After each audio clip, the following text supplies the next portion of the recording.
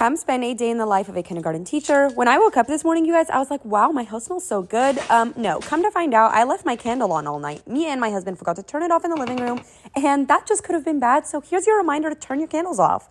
When I got to school, I had a lot to do because we have events this week and just a lot going on. So I had to reply to emails, prep some documents, all that stuff. Here's an outfit check, and then we started a busy day.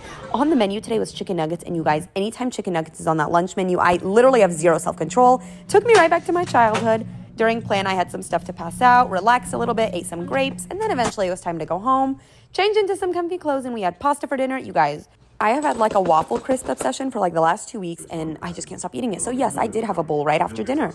I cleaned up when we ate, put the dishes away, and then I went on a walk because I said I was gonna go to the gym for like the last five days now, and that hasn't happened. Got home, showered, and of course, put the lamps on and just relaxed for the evening.